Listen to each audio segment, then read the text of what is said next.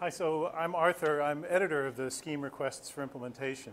Uh, and uh, yeah, that's what I'm going to talk about. So while I give this talk, I just want everyone to kind of keep in mind uh, the question, how do we grow the language?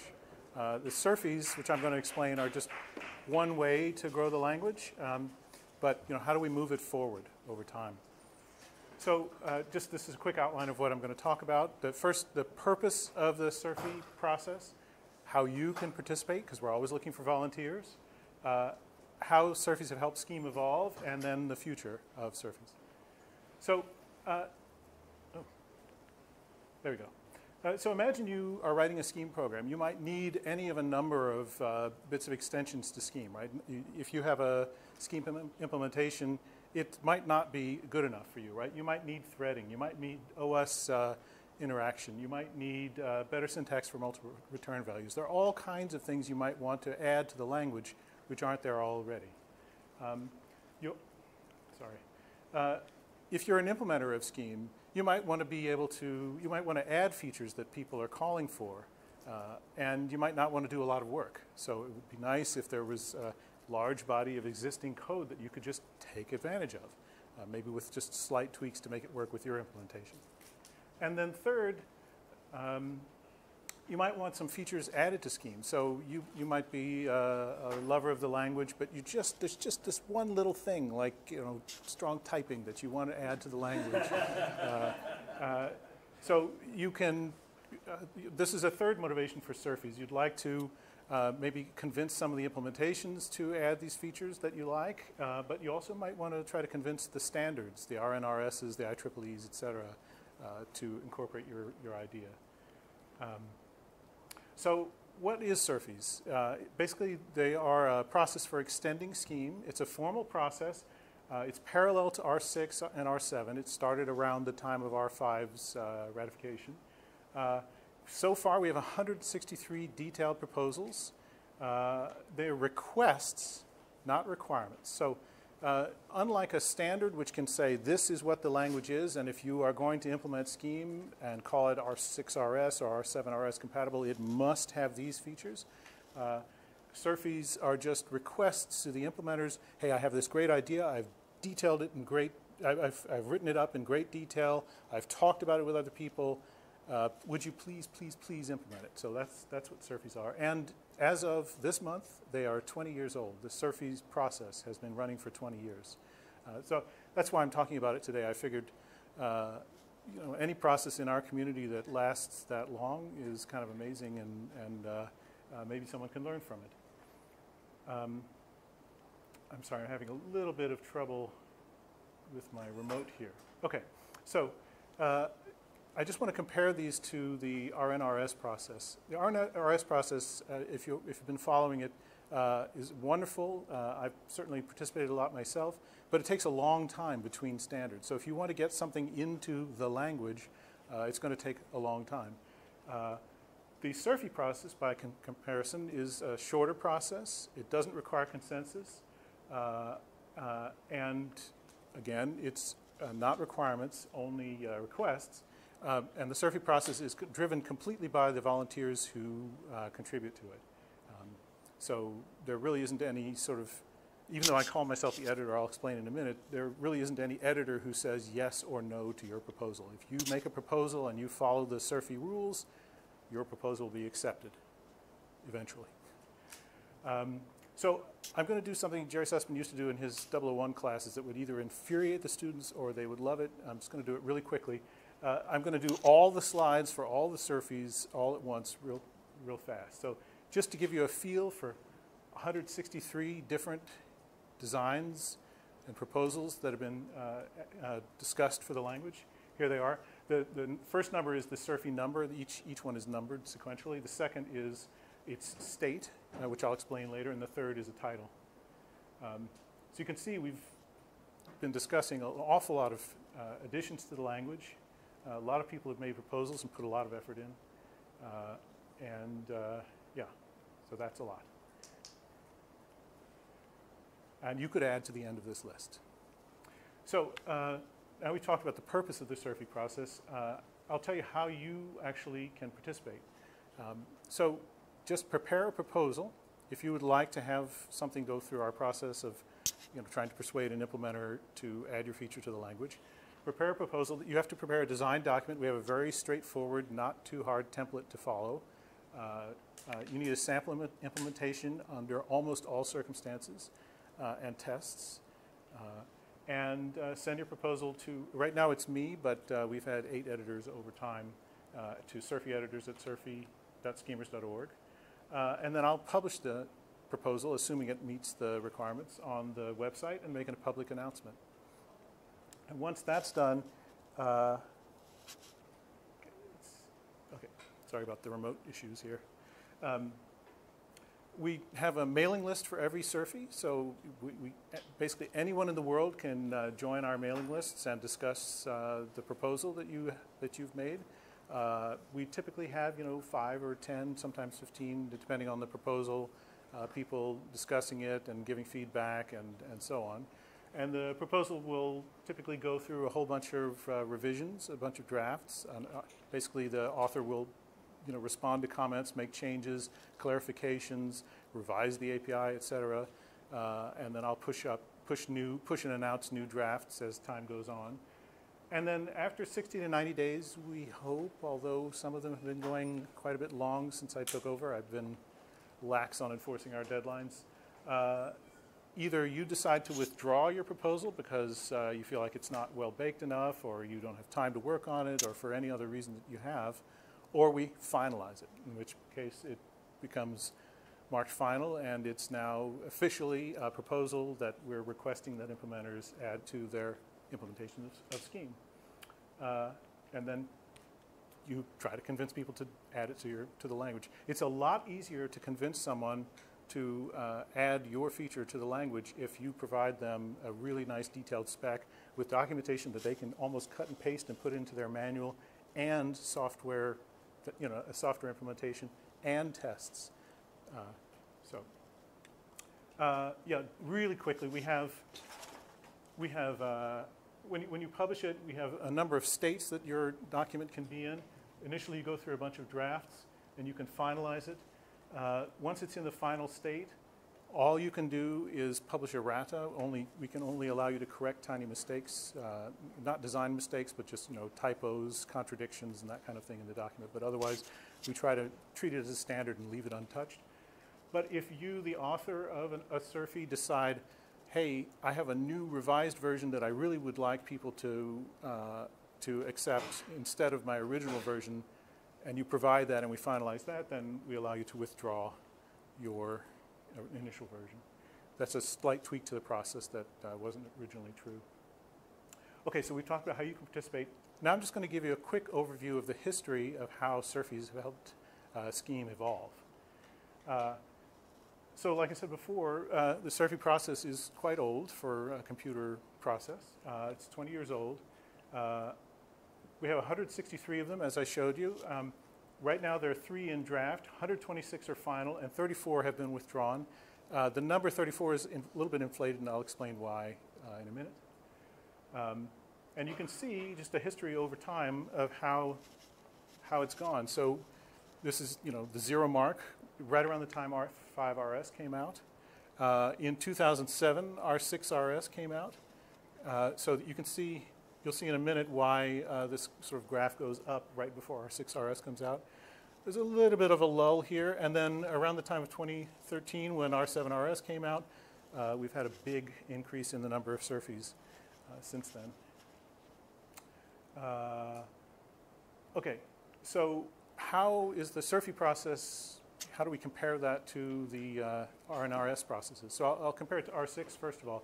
R6 editors, the R6 editors decided to use the SRFI process as their sort of organizing principle for a lot of uh, their efforts in R6. They would make a proposal for a particular feature that they were considering adding into R6, uh, uh, you know, revise it through the standard R, uh, SRFI process, and then uh, once they were satisfied with it or had decided not to use it, they would withdraw it. Um, and in the end, uh, they incorporated a subset, subset of SRFI 1 into R6 and then largely incorporated all these other SRFIs into the language. So SRFI was quite influential in R6. In R7, uh, small, basically, if you look at the, I'm, I'm, going basically from the bibliography right now, but uh, if you look at the r7rs.pdf document for the small, you can see all of these SRFIs uh, referenced. Nine, for example, uh, was the record proposal that was largely accepted into the language. And then uh, John Cowan right now is running uh, R7RS large, the effort to make the, the sort of larger version of the language. And he has done kind of what R6 did and organized everything around the, R, uh, around the SRFI process, but without the uh, goal, without the plan to withdraw things at the end. Uh, and right now, John alone has co-authored all of these SRFIs, so that's why the graph goes up and to the right so much since, uh, since R7 small was finalized. So yeah, it's been a big part, even though it's parallel to and kind of independent of the R, R uh, NRS process, it's, it's had a big influence. Uh, and then uh, just to give you a feel for uh, whether it's actually being successful, uh, this is a graph of all the SRFIs left to right are just the SRFIs. So, you know, we've gotten up to number 162 right now. Uh, and as you can see, there are a lot of implementations of them. This only counts the implementations that are not just sort of fundamentally part of the language. If, if for example, if you're an R6 RS uh, implementation, you'll have several of them included just as a base part of the language. Uh, this is just the ones which people, you know, allow you to import or load or whatever and include with their, with their implementation. As you would expect on the left, the older uh, SRFIs are more implemented than the newer ones, but uh, we're hoping that the numbers on this side will go up too. Uh, and then this is just a weird visualization I created. Uh, it just shows on the x-axis the SRFI number. So this is SRFI number 162, and that's zero on the left. And on the y-axis, I picked a whole bunch of implementations where I could get data about what SRFIs they implemented. So there's a dot wherever this particular implementation implements this SRFI. Yes? Uh, if you look at the paper, I have all a huge bibliography, uh, but a lot of it comes from Shiro Kawai's uh, community scheme website. If there's a website with a lot of it, uh, and then I've also gone through the implementations of some of the schemes and uh, uh, their own independent websites. Unfortunately, we haven't kept a sort of, you know, because it's requests, um, we kind of hand off to the implementations, and there hasn't been over these 20 years a concerted, careful effort to say, okay, if you implement it, please let us know. Uh, so it's a little bit of an approximation. There may be dots here that are missing. So, uh, and uh, yeah, so for the future, um, come on, there we go. Okay, uh, uh, I have one thing which I, I one major ch change that I made to the SRFI process when I came on as editor in 2015, which was I kind of relaxed the 60 to 90 day deadlines that used to be around partly really nice SRFIs that have taken over a year uh, to produce, but um, I'm kind of trying to figure out, I'm going to start a discussion on the SRFI Discuss mailing list soon to try to figure out what the right thing to do. Uh, people are not as much happy with a 60 to 90 day, day process anymore because uh, John in particular says um, it's a lot of effort when you have to do a sample implementation uh, to keep the implementation up when the, uh, when the API is changing in response to comments. So it's a lot nicer if you have a little bit more time to get the sample implementation done before the SRFI is done. So that's one reason we might extend it a little bit, but definitely not a year. Um, that, that's only happened to three or uh, and we've got them finalized just before the conference. So I'm happy to say we're back down to just over the 90 days. Um, so yeah, uh, I also would like to add uh, semantic markup to the template if, if I can find a way to do that or if someone else can find a way to do that uh, so that our design documents uh, can just be machine readable in a way that you can extract an index of all the APIs uh, that the, that the SRFI defines, that would be really, really nice. it's kind of hard to do, but uh, in a way that makes everyone happy and doesn't require a lot of people to do a lot of work, or particularly the author to do a lot of work when they write the document in the first place. We want to keep the friction as low as possible for the authors, and at the same time, uh, get as much data out as we can automatically. So that's one ambition. And then another uh, um, is to have a search engine for SRFI bindings. That's kind of related. So uh, Cyprian Krekin, I hope I'm pronouncing his name right. I've only met him by email. Uh, has proposed a format, uh, basically a kind of a JSON or S expression format that uh, you can use to encode APIs uh, and you know data about them, documentation, et cetera, uh, and has actually gone through R7RS small and encoded everything that way. And I'm hoping that he'll go ahead and do that for SRFI as well. You know, that would make it really easy to create a, a nice search engine. And then we have, uh, I was contacted by someone on IRC who really wants us to have something like Hoogle or Hayoo, which uh, the Haskell community has. Um, so I would love to see that too. And if anyone would like to volunteer, uh, I really would, uh, I really appreciate it. Um, yeah, so uh, yeah, it's a formal process for improving the language and extending it. Uh, it's surprisingly widely used. We have a pleasant community, and uh, even though a lot of people are quiet, uh, we have a lot of people listening.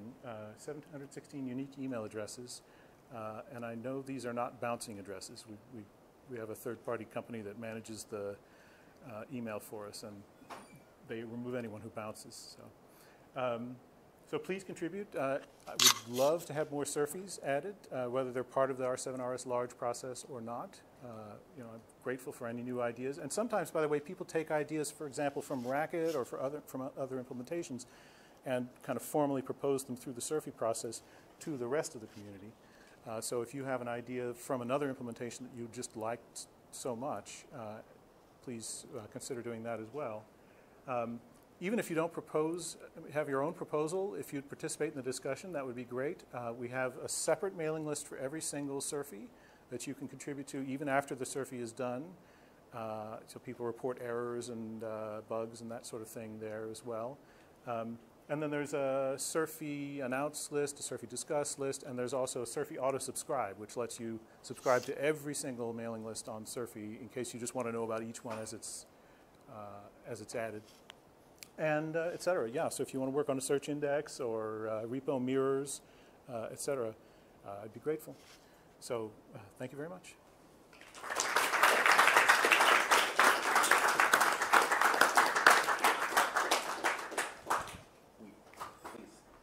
Yeah. So, uh, with, with the Hoogle stuff or uh, the search engine stuff, does SRFI's in their API documentation, do they describe contracts for the API so that maybe that would enable something like Hoogle? Right. To, so the question is whether uh, describe contracts in the design documents. Uh, they do in English. Uh, we don't, you know, it, the, the process is old enough that it predates all of that kind Right. of uh, kind of stuff. Um, I don't want to require that anyone uh, do it. Uh, on the other hand, uh, you know, anyone who does, uh, that, that would be great. Right. Um, so it would be kind of cool to have a way to add them on the side, uh, uh, so that contributors could do it as, as a separate thing. And actually, that's what uh, Cyprian's uh, thing might do. Yes. I think there's something. that you had um, like been relaxing the 60 to 90 day deadline. Mhm. I guess that, my question was like, why, why have the deadline at all? You know, like a lot of the web standards um, have instead they have like a set of stages that you go through with clear criteria for how to tell when you're at that stage, and then when you get to like, you know, usually it's stage four or whatever, it like becomes like an official like recommendation or part of the standard or whatever. Would something like that work for the sort of process? Yeah, so the question is uh, why have the deadlines at all? And that other standards uh, have sort of clear stages that you go through before you are finalized. Uh, maybe we should use something like that. So, uh, you know, I'm the eighth, I think, editor of the process. I inherited it. I've been only making very small changes to it. Um, but the, uh, the idea as presented by the original editors um, was that an idea that takes longer than 60 to 90 days isn't really well baked yet, and therefore uh, isn't yet ready for the SRFI process, that they really only wanted ideas which were, uh, needed some discussion, but uh, were very clearly articulated already. Um, I'm kind of of that same mindset, but I want to give people more time to get their implementations up because now there's more emphasis on their on the implementations, and I think some of the more recent SRFIs are even more ambitious than the older ones, and the implementations take longer. Um, but I'm open to uh, ideas on this. Uh, you know, please join the SRFI Discuss mailing list. And uh, I'm going to start a discussion in the next month or so, to try to figure this out in the community. Thank you very much. Oh, thank you. Thank you. Yeah.